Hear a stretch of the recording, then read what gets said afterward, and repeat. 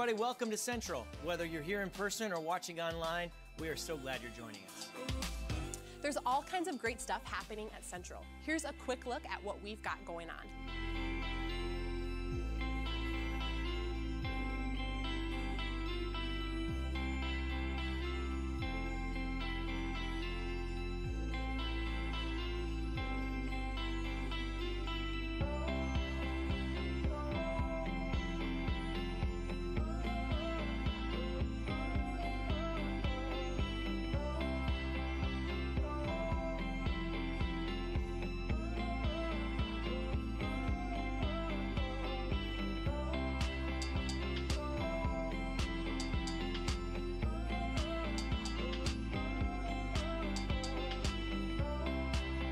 Up with everything we have going on at Central, just visit our info page or find us on social media.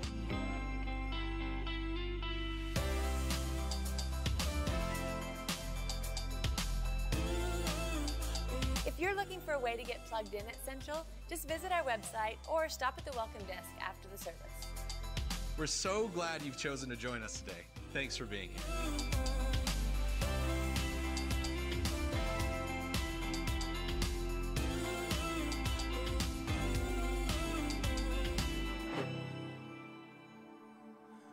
All right, good morning, Central family.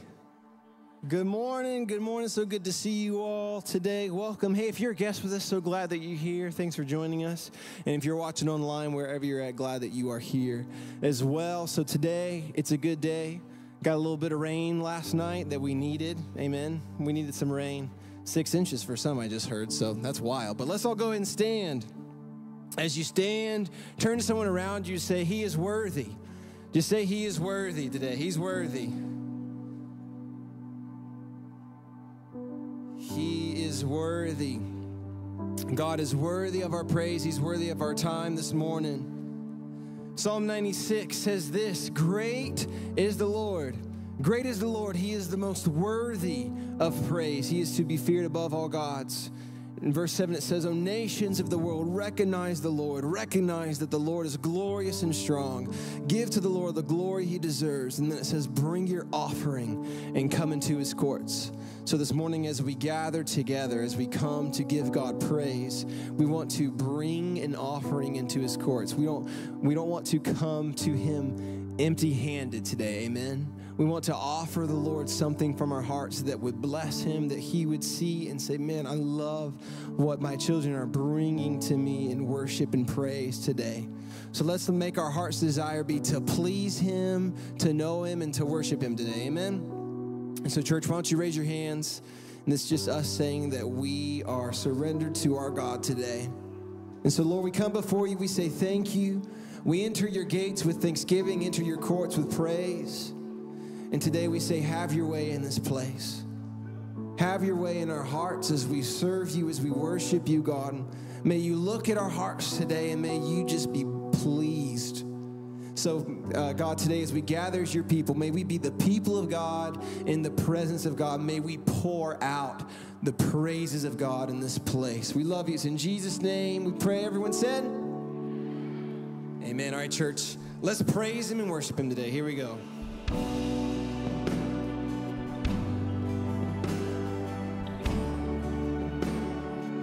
Our eyes are fixed on Jesus today. We fix our eyes on you, Lord. All right, we sing. You carried the cross. You carried the cross upon your back, bleeding until your final breath. Of blood, a crown of thorns. You gave it all. Our sins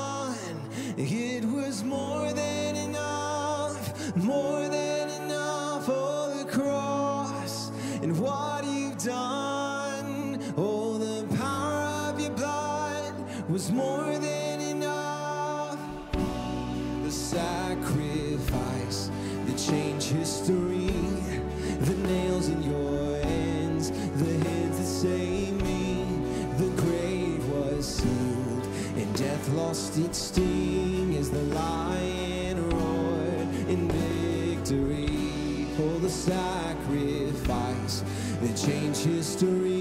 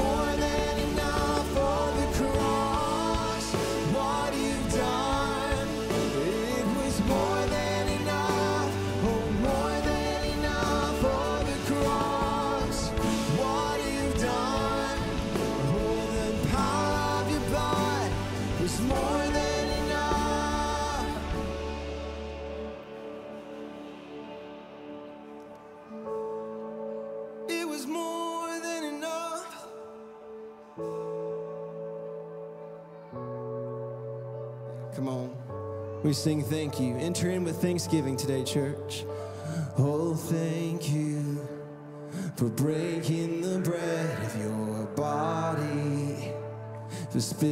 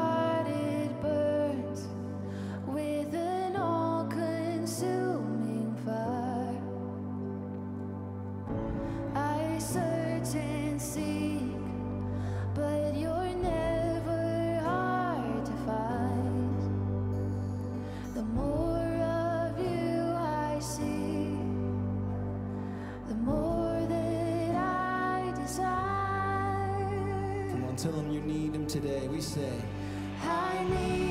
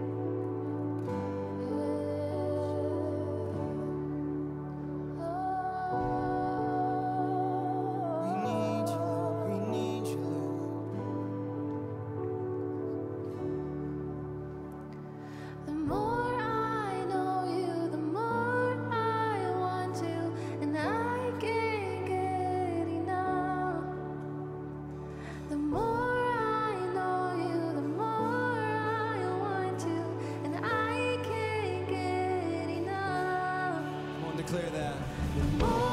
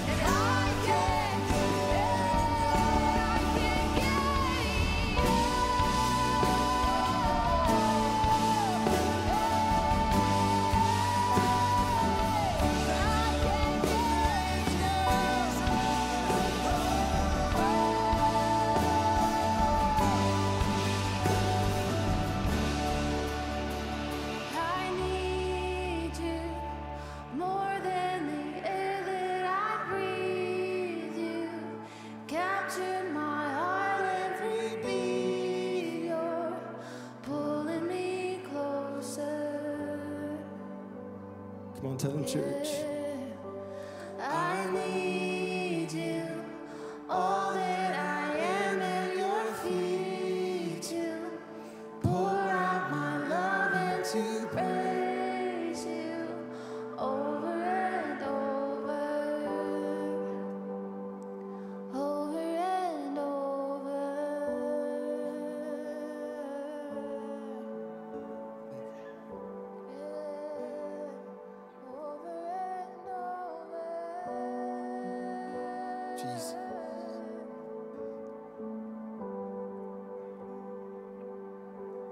Let's just take a moment just to rest in His presence today.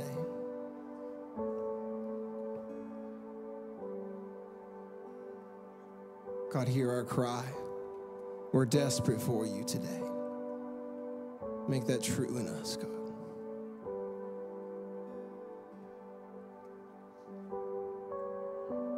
God, may we be a people who expose, that we would expose our heart before you. God, we're not holding anything back today. We're letting you in, we're letting the light in today. You're all that we want, you're all that we need, God. Increase our desire for more of you, Jesus. Increase our passion for you. Increase our love for you. Cause you're all that we need, The only thing that satisfies is you, God. The only thing that satisfies is you,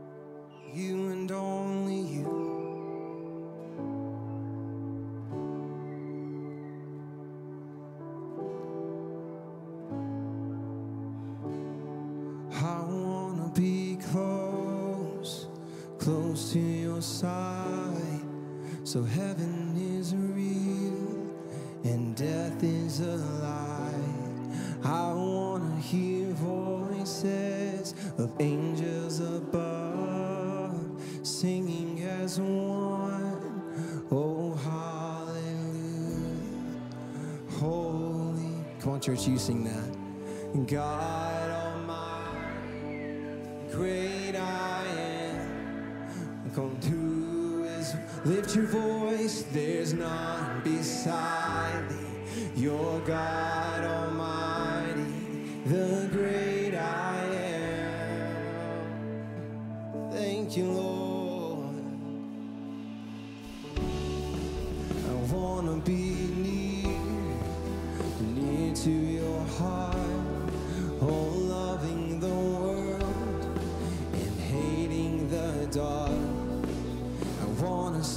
dry bones living again.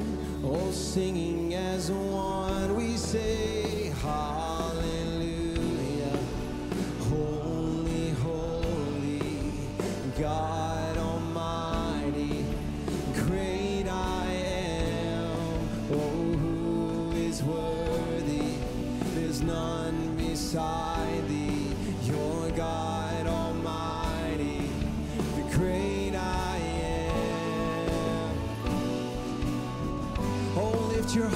to Him today, church. He's worthy. He's worthy. Oh, we give you our praise today. You're worthy, Lord. Yes, you're worthy, Lord. The mountains shake. The mountains shake before you. The demons run and flee. At the mention of your name, King of Majesty, there is no power in hell or any who can stand before the power and the presence of the great I am. The great I am. The great I am. Always worthy. The great I am. The great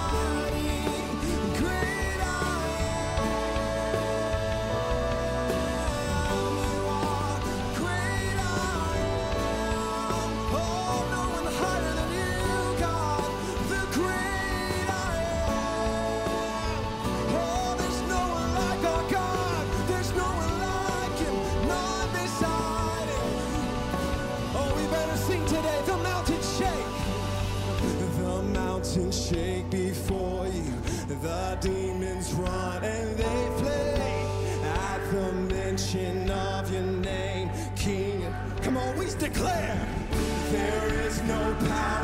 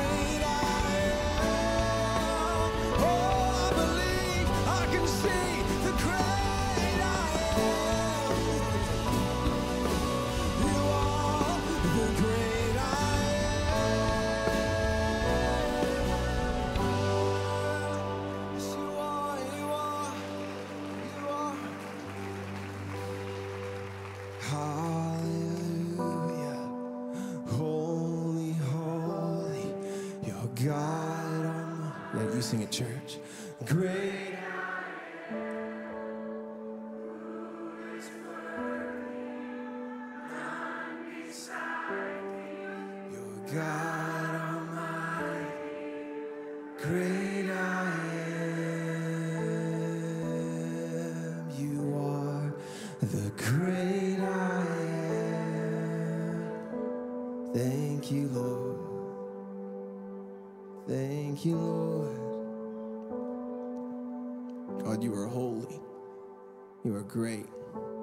Set apart.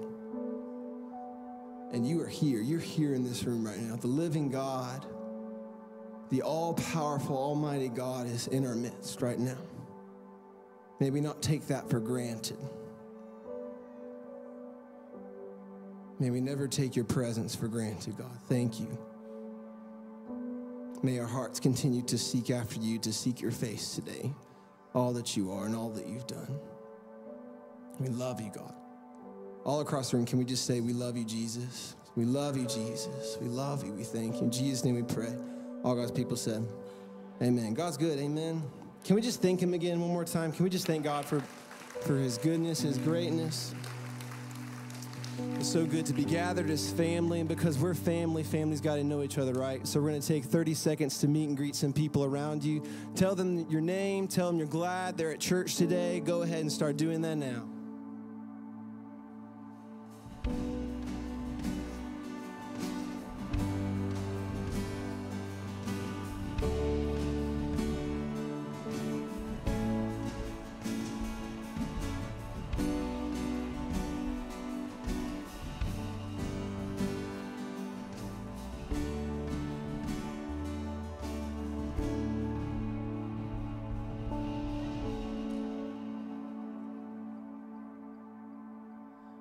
Well, good morning, Central.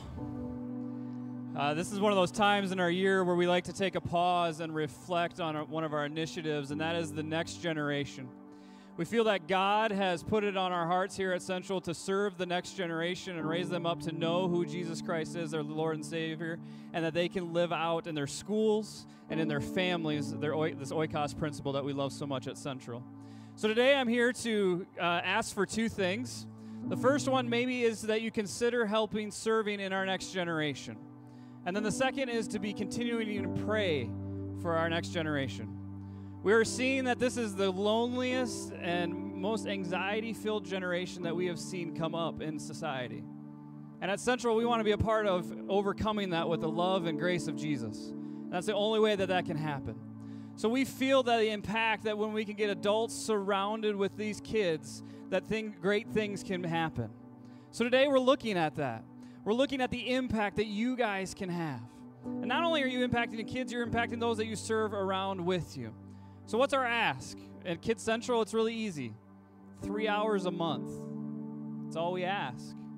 Maybe you feel called to just rock and pray for our babies uh, uh, during the Sunday morning. Or maybe you love teenagers and you've got a lot of energy and you just want to be a part of having them being seen and known in this world. Or maybe you college is your thing and you still love being around college students. And if you're a college student here today, I want to challenge you. Can you be a hero for our little first graders and second graders? They love you. You can make a great impact, and we would love to have you alongside of that. And if nothing else, we ask that you pray. We need God to be a part of this generation, and we ask that you pray for them. So we've got our entire next generation or next gen team out right outside these doors that would love to have a conversation with you. You're not signing up by any means to serve. It's just to start a conversation so that we can follow up with you. I want to share a story. We've had a, a volunteer that got kind of gently pushed into a girls' group. it was a dad. We were short and he started serving. And he noticed the impact that he was having, and he said, I see what my daughters are learning and how I can help that and their friends and getting connected. But also, it's changed my life. It's changed how I am a parent, how I'm a dad to my girls. Now, that is awesome. You think you're serving these kids, but God is working just as much in our hearts as you serve. And that is what we love to hear. And that is what we want you to be a part of. We have an amazing year ahead of us. We're going to see over a thousand kids inside of Central between students, college, and kids, and we need your help. because we're going to impact this generation. We can't wait to see what God has in store for this world through this generation. So, what I want to do this morning is I want to invite you out to that table, but most importantly, I just want to spend some time in prayer. So, will you bow and pray, for, uh, be with me in prayer? God, I just thank you so much for this morning. I thank you for the call that you've put on Central to be able to be a part of this next generation that's coming up, God. God, we pray for them. We pray as school is beginning and starting that you can be with them as their anxieties and fears and struggles, all of that stuff that rises up, that they can know you, that you can overcome that, and that we can walk alongside them. So, God, I pray for the families that are here that are representative, and we're so grateful that we can partner alongside them of raising their kids. God, we pray for those that are maybe on the fence about uh, volunteering. God, just have a conversation that we can start. So be with them as that. God, we just thank you for this morning. We thank you that we were able to be here to worship you, to learn about you. And we just love you and we praise you. And it's in Jesus' name we pray. Amen. So I look forward to meeting you out there. Have a great rest of the morning. Hi, I'm Pastor Nathan. Thanks for worshiping with us today. We're excited to begin our teaching time, but before we get to that, we want to mention something. Prayer is incredibly important to us, so if you have a need, write it down on the communication cards you were handed on the way in. You can put your prayer request and your offering in the box on the wall near the exits as you head out after the service. You can also use the link on the screen to fill out a digital communication card and prayer request. Thanks for being a part of Central's mission.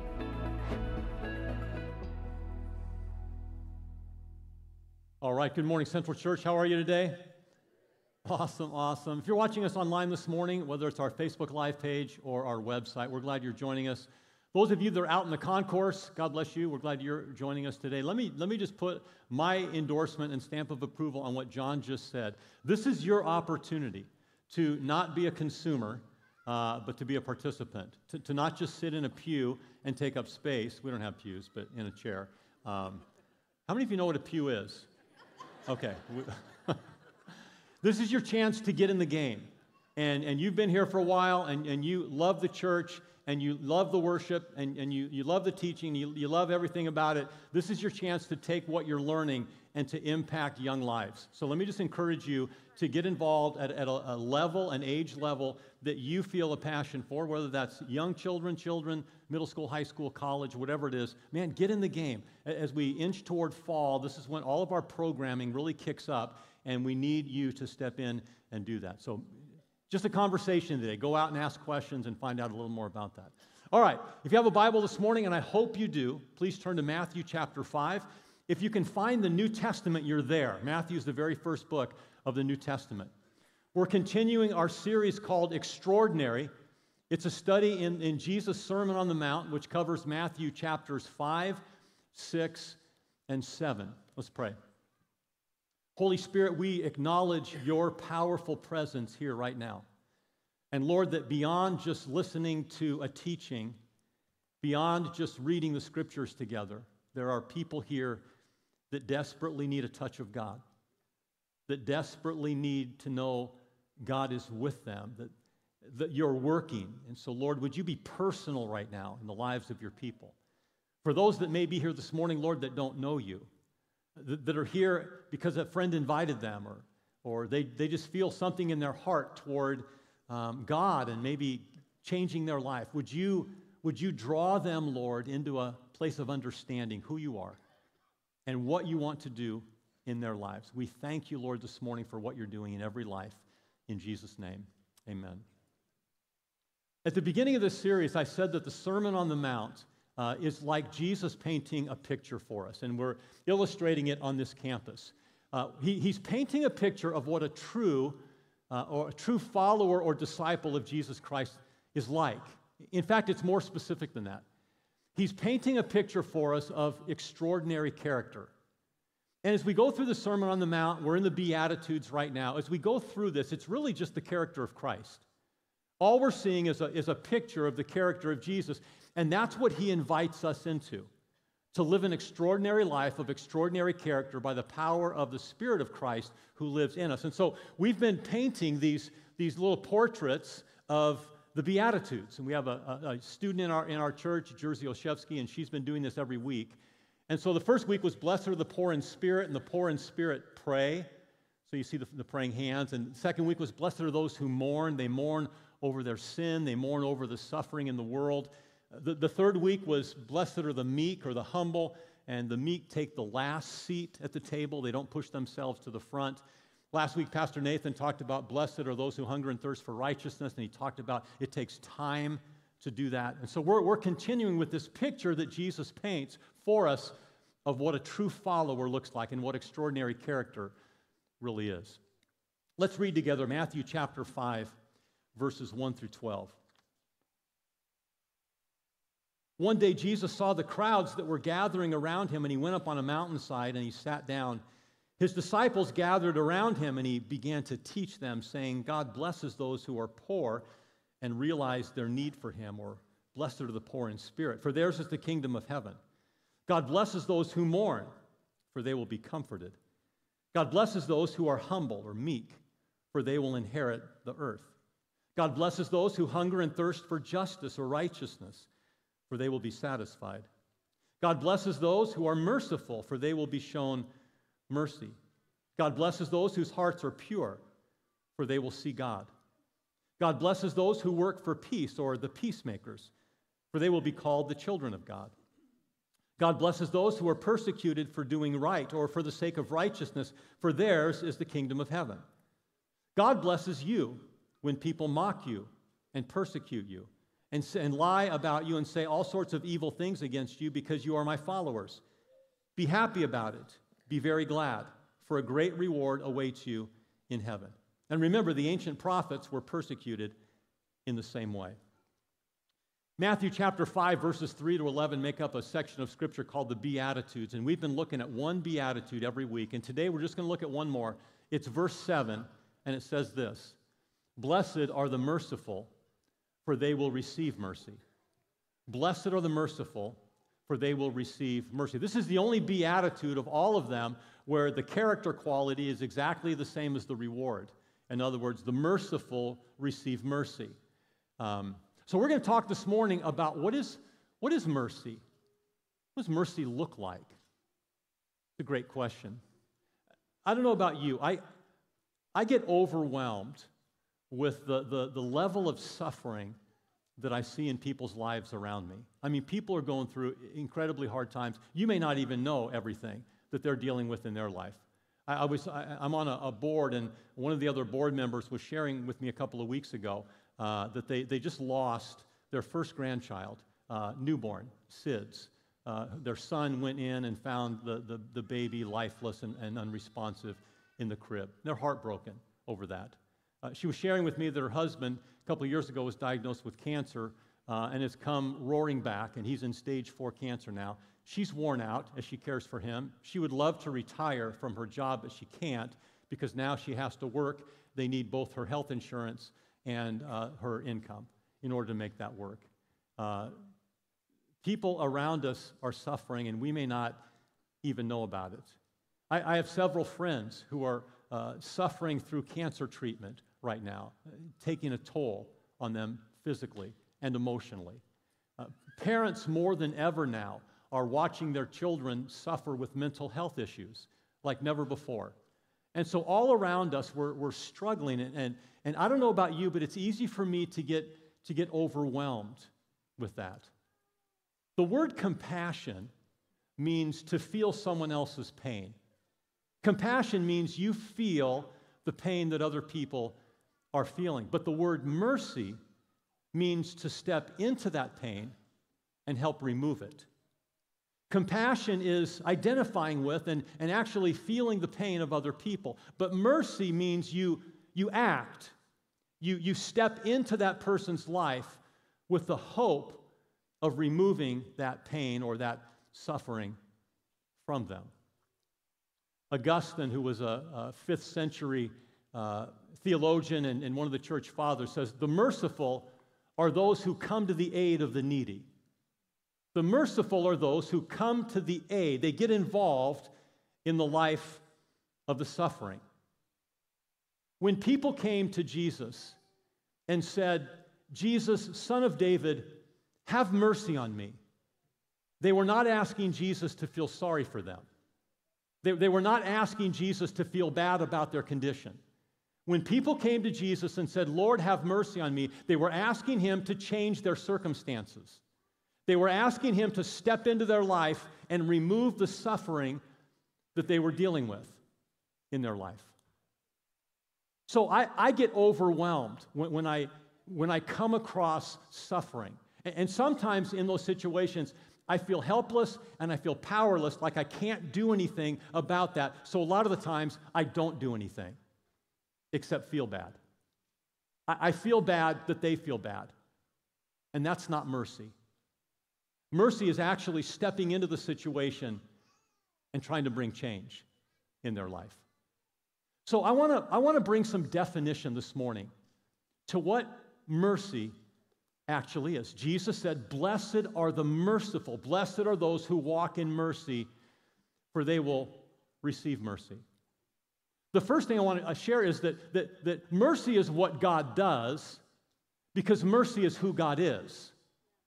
Mercy is what God does because mercy is who He is. Psalm 103, verse 8. The Lord is what? Merciful. The Lord doesn't just do merciful things, it's inherent to His nature, it's, it's, it's in His character. The Lord is merciful and gracious, slow to anger, and abounding in steadfast love. God cannot cease to be merciful. God can never be unmerciful. It's who He is. Mercy flows from Him. We see God's works of mercy because that's who He is. He's merciful, period. The second thing is because of mercy in God, God pursues those who are suffering. Because of mercy, God pursues. Psalm 23 6. Surely goodness and mercy shall follow, shall pursue. The, the word literally means chase. Surely goodness and mercy will follow me, chase me, pursue me all the days of my life. Because God is mercy, He constantly chases, pursues, follows, and gravitates to the suffering. He can't help Himself. He is, he is a merciful God. And so he is drawn to suffering. He's drawn toward human suffering. He doesn't sit back and just feel bad when you feel bad, he actually steps toward it. Whereas we stay neutral or step away from it, God steps toward suffering because he's merciful. And God offers mercy for both temporal and eternal needs. Both temporal needs, that means the needs of this life, and eternal life. And so we look in Hebrews chapter 4, verse 16. It says, Therefore, let's approach the throne of grace in prayer.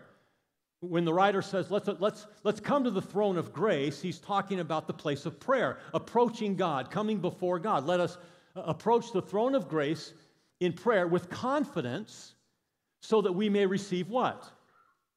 Say it again mercy and find grace to help in time of need. Those are daily needs. Those are physical needs. Those are earthly needs. Those are human needs. God is encouraging us to come with confidence before Him because He wants to pour out mercy on the areas of our, our lives that need help because He's merciful. Come to the throne of grace with confidence where we will receive mercy. Why? Because God's merciful. He can't help but be merciful because that's who He is. And find grace to help in time of need. So, so God invites us to ask Him for mercy for the, the everyday things of life, for His help. But He also invites us to ask for eternal things. So we read in Titus chapter 3, verse 5. It says, God saved us, not on the saved us from sin, saved us from eternal separation from Him saved us from a life and eternity apart from Him. God saved us from that through Jesus Christ, not on the basis of our own good works, not because we've done good things, not because we've given money to the poor, not because we've tried to live a good moral life, not because we're a good husband or a good father or, or a good friend, not because we do good things for people, not on the basis of any good works, but in accordance with His what? His mercy. His mercy saves us. I'll share this in just a minute, but he looked down upon our pitiful human condition in sin, and he had mercy toward us for our eternal need to be with Him by the washing of regeneration and the renewing of the Holy Spirit. So God can't help but be merciful, it's who He is. God chases or pursues or follows the suffering because mercy always steps into pain and suffering. And God invites us to ask Him for mercy for both everyday needs and the sufferings and the difficulties and pains we go through in this life, but also He asks us to save, to be saved from eternal suffering. So, so Jesus said, Blessed are the merciful. So, what does mercy do? If we're going to follow Christ, if we're going to follow the teachings of the Sermon on the Mount, if we're going to, if we're going to attain to the character of Jesus by the power of the Holy Spirit that works in us, remember, you can't do this in the flesh. This is a work of grace through the Holy Spirit. So, so we become merciful as we grow in the nature of Christ and we allow the Holy Spirit to work in us. So, what does it look like? What does mercy do? What does it mean to be merciful? That, that's what I want to focus on just for our last few minutes this morning. So let me say this first of all, mercy addresses spiritual suffering. Mercy addresses spiritual suffering. Ephesians chapter 2, verses 4 to 6 says, But God, this is much like the Titus passage talking about uh, God's mercy in salvation from sin. But God, being rich in mercy because of his great love with which he loved us, even when we were dead spiritually because of our sin, God made us alive together with and through Christ. It's by grace you've been saved, and raised us up with him and seated us with him in the heavenly places in Christ Jesus. God, being rich in mercy, out of the great love with which he loved us, stepped into our sinful condition. In other words, God looked down from heaven upon humanity and he saw the fact that sin had separated us from God and sin was leading us to a Christless eternity, an eternal life separate from God, filled with suffering. And God didn't just sit in heaven and say, Oh, bummer. Sorry, guys. That's going to be horrible when you go to hell. No, he, God so loved the world that he gave his son. Jesus Christ. And it says that Jesus went to the cross to save you from the suffering of sin. Jesus went to the cross to redeem you, to reconcile you, or bring you back into a right relationship with God so you could spend eternity with Him. That's mercy. See, the cross becomes the greatest symbol of mercy in the world because Jesus didn't stay in heaven and just feel sorry for you. He stepped into the world, He stepped into the sinful place of humanity, and He, and he was a substitute on the cross for us so that we could be delivered from our sinful suffering. He stepped into it. Amen? I thought this week, what if, what if you and I were more like Jesus? What if we were more like God? Instead of when people sin, instead of when people mess their lives up, instead of when people sin in a way that we don't like, what if instead of heaping condemnation on them, what if instead of shaming them, what if instead of condemning them and alienating them and removing our, what if we stepped into their lives to remove the shame? What if we actually extended mercy? What if we became the church? And, and church, we're terrible at this in a lot of ways, at, at not lifting people out of the suffering and the shame of sin, but pounding them down in it, making them feel more guilty. What if, what if we became more like God and addressed spiritual suffering in people's lives? I want you to think for a minute about the time you've sinned the worst. Did you need anybody telling you that you sinned the worst? Did you need someone reminding you? Did you need someone punishing you for that? Did you need someone beating you over the head with that? Or did you need someone to come and be merciful and lift you up and help you walk through that painful, shameful, difficult point in life to get to the other side? What if we became more like Christ? In mercy. See, mercy not only addresses spiritual suffering, but mercy addresses physical suffering. Mercy steps into physical suffering. Philippians 2, verse 27, Paul says, Indeed, he, and he's talking about Epaphroditus, who was one of his fellow workers in the gospel. He, he was working with Paul to bring the gospel to these towns and cities and villages where they were sharing Christ. He was sick to the point of death. He had a terminal illness. But God had what? God had mercy on him, and not only on Epaphroditus, but also on me, so that I would not have sorrow upon sorrow. God stepped in and physically brought mercy by raising Epaphroditus up from a terminal illness. Uh, in Matthew chapter 9, verse 27, it says Jesus went on from there, and two men who were blind followed Jesus, crying out, Have mercy on us, son of David. They engaged Jesus. Jesus indeed restores both of their eyesight, he, he heals their blindness. And, and it says that they said, Jesus, have mercy on us. And Jesus had mercy by addressing their physical suffering. Now, wouldn't it be nice if we could, like Jesus, just heal anybody physically anytime we wanted? Wouldn't that be great? Like we could extend mercy like Jesus did and just lift them out of their physical suffering, but we can't always do that. But does that mean we can't be merciful toward physical suffering? Are there other ways that we could help to lift people out of misery? So, most of you know that we have a, a significant ministry in Ethiopia. And part of that ministry has to do with our, our, the two schools we sponsor with Adams Thermal Foundation. K through 12, we're, we're really pouring into that. We, we've partnered with the, the Timothy Initiative, and we're now planting hundreds of churches in Ethiopia. And, and people are getting saved and baptized every day through that ministry. But we're also getting into the interior and getting involved with different ministry partners. And we discovered that there was a government owned orphanage in Ethiopia. And uh, only orphanage by name because they didn't care at all or do anything for the kids. So babies are lying in their feces and urine for days. They're sick and they're not being attended to, and they're just dying. And nothing's being done for these kids. And one of our ministry partners there recognized this, and they are going to be taking over this orphanage. And so we are partnering with them and pouring resources into that orphanage to begin to get these kids in a healthy place. So, how many of you know we can't go in there and just lay hands on everybody and heal them, but we can deliver them from their physical suffering? We can participate with Christ to pour our resources to begin to free them from physical suffering. Amen? Can you help people get out of physical suffering? We, we partner with another ministry here at Central called Call to Freedom. Uh, Becky Rasmussen's the executive director of that ministry, and Call to Freedom uh, gets victims of, of sex and labor trafficking free to become survivors.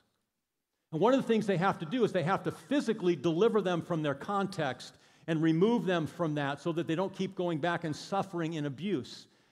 So here in Sioux Falls, they built a house called Marissa's House where they can actually house women uh, and their children. Because if you don't get them out of that context, if you don't deliver them from that, they're not going to get free. So, so we are pouring resources into that to try to allevi- alleviate physical suffering and emotional suffering for these young ladies and for their kids. So, uh, apart from just praying for people, which we should, uh, to, to be healed or, to, or you know, to be restored, there are other ways that we can help people get free from physical pain, physical discomfort. Are you doing that? Jesus said, Blessed are the merciful. They came to Jesus and they said, Jesus, have mercy on me. I have physical problems. And Jesus alleviated the pain. How are you doing that? That's part of our call as the character of Christ is to step into physical pain with the hope of removing it from their lives. The third thing is not only does mercy address spiritual needs and physical needs, but mercy addresses social needs. Social needs.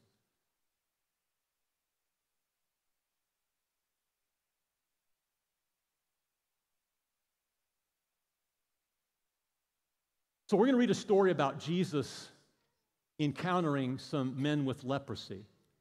Now, before we read the story, let me tell you about leprosy. Leprosy was a physical disease that had social repercussions.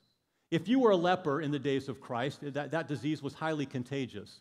And so when you walked down the streets, down uh, the, the marketplace, you, you had to scream, unclean, unclean, so that people would know that you were a leper and they would get out of your way lest they come into physical contact with you and, and contract leprosy. So while, while Uh, Leprosy brought both physical and emotional pain, it brought social pain because they were marginalized in society and pushed out of society. Jesus comes across 10 lepers. Let's read the story. While Jesus was on the way to Jerusalem, he was passing between Samaria and Galilee. And as he entered a village, 10 men with leprosy who stood at a distance, they met him. Now, they're standing at a distance because they're following social laws. They had to stay at a distance so that they didn't touch or come in contact with people. So they're removed from Jesus and they raised their voices and they said to Jesus, Jesus, Master, have mercy on us. When Jesus saw them, he said to them, Go and show yourselves to the priests. And as they were going, they were cleansed of leprosy. The reason they went to the priest was the priest was sort of like the doctor of the town, and he would examine them. And if they were in fact free from leprosy or other skin diseases, then they could be brought back into society. They could be released back into a social context, whereas before they were just on the outskirts and marginalized. So when Jesus touched them physically, he not only touched them physically, but he touched them emotionally and he touched them socially and he restored them back into community. How many of you know we were created for community? We were not created to live outside of community. We're not, we're not created to live in isolation. We were created to live in community with people. We thrive in the context of community. Remove people from community like COVID did, and you've got a mess on your hands. When the church can no longer meet, you, you, are, you are not doing what God created you to do, and that is to be with people, to hug people, to love people, to shake people's hands, to be physical and emotional in that social context. We were created for that. Love is communicated that way. And so lepers didn't receive that. So Jesus restored that social life to them and removed that social suffering. So you're going to go out this week and you're going to, you're going to encounter and engage your relational world, your oikos. And there's people in your oikos that are marginalized. There's people that are on the outskirts. And this is a family worship Sunday. So, students, let me talk to you for a minute about the kids at your school. You're getting ready to go back to school. And there's going to be kids at your school that are outcasts, kids that are marginalized, kids that are made fun of. And maybe your extension of mercy is to include them in your friends group. Maybe your extension of mercy is to sit with them at lunch. Maybe your extension of mercy is to not allow them to be always by themselves, but in some way to restore them to some social health. And you adults, you're going to go into your relational world today. You're going to go to work. You're going to go to other places. Who are the marginalized? Are you inviting them into community? Are you inviting them into life, say in the church or wherever? That's an extension. Of, how are you going to fulfill Christ's call to be merciful with the marginalized, to restore social health to people? Instead of just being with your cool friends, instead of just being with your cool family, what if you invited someone that wasn't so cool to be a part of your life? That's called mercy. And Jesus demonstrated mercy to the marginalized. Mercy addresses spiritual suffering, it addresses physical suffering, it addresses social suffering, and it addresses emotional suffering in life.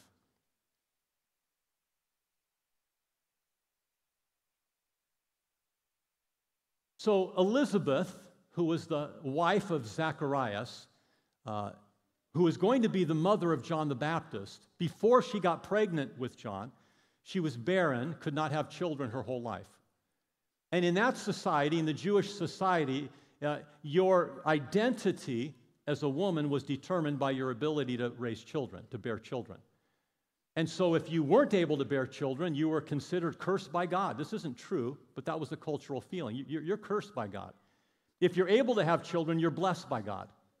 Because there's scriptures in the Old Testament that say children are a blessing from the Lord. So if you have children, then you're blessed. But if you don't have children, if you can't bear children, you're not blessed. Well, Elizabeth was barren her whole life. So she's living in that culture where she's dealing with this emotional suffering dealing with all of the women and the pressure in that society to have kids, but she couldn't. So she, she had real, no real sense of value in that community. So she's dealing with emotional pain. Here's the story. Uh, the Lord opens Elizabeth's womb and allows her to get pregnant. And when the time had come for Elizabeth to give birth, she gave birth to a son, John the Baptist. Her neighbors and her relatives heard that the Lord had displayed what? His great mercy toward her, and they rejoiced with her. The Lord stepped into her life and removed the emotional suffering that came in those days with barrenness in her life. Jesus didn't just feel sorry for her.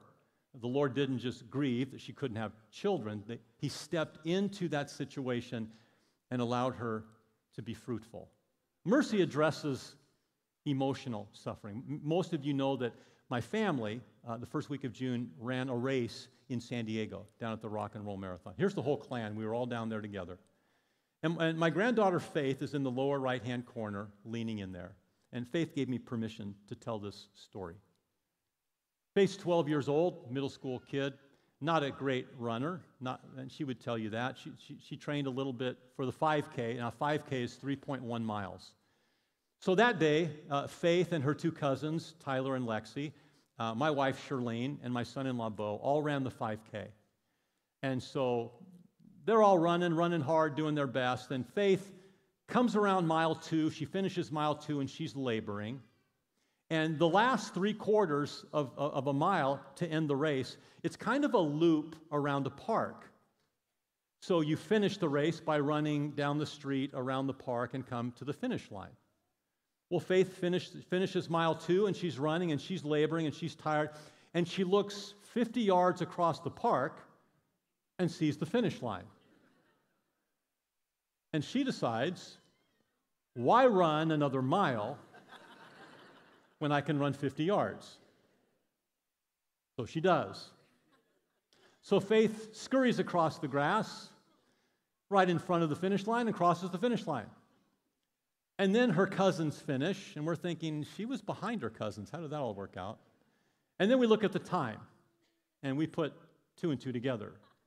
No 12 year old runs a three minute mile. so we knew that something happened that wasn't on the up and up, and so mom pulled her aside, and she denied it and denied it because out of shame.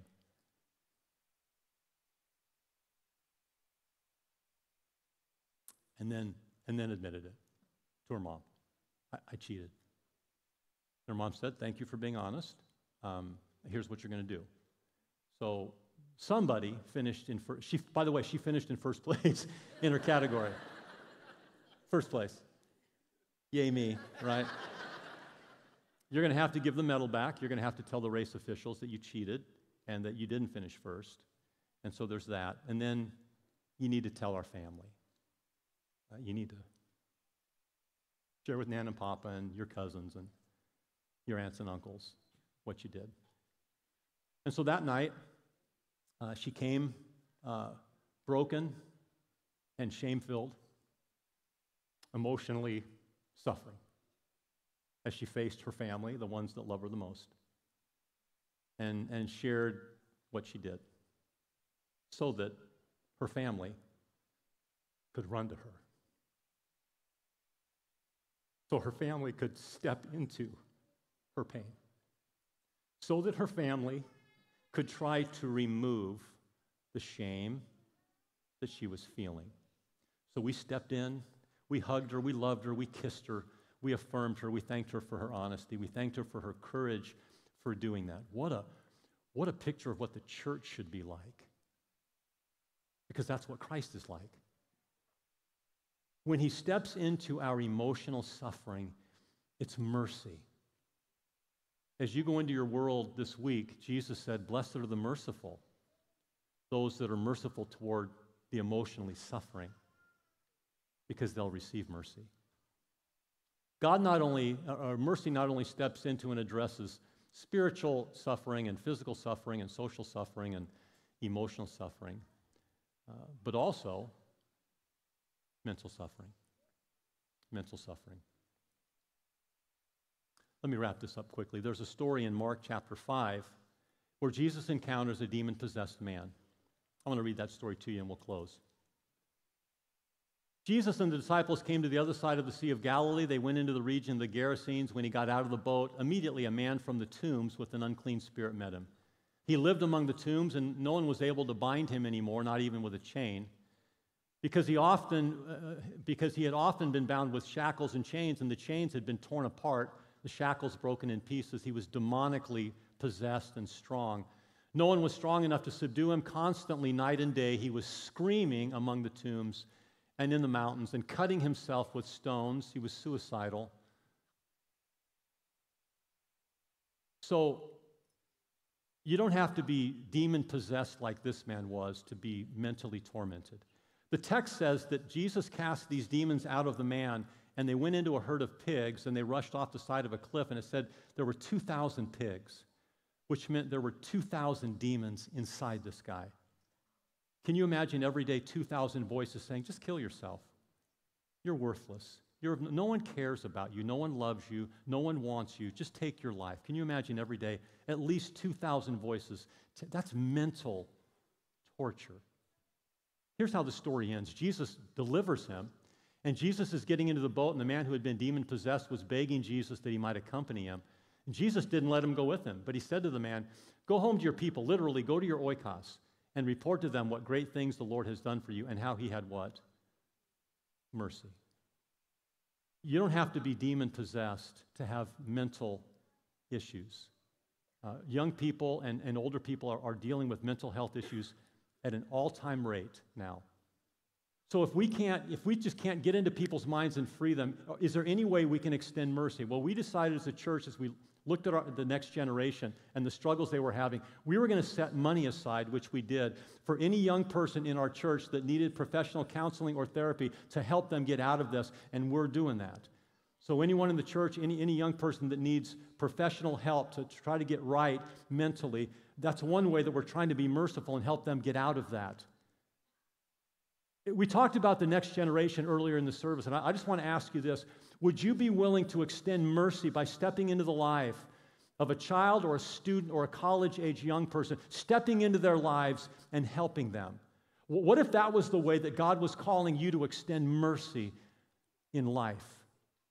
Our mission statement is here is we exist to help you share the love of Jesus with your relational world. As you go into your relational world this week, how are you going to extend the love, not only the love, but the mercy of Christ with those in your world? How are you going to step into the pain and help free people from their suffering? That's what mercy does. Mercy pursues, follows, and chases suffering. Would you stand with me this morning?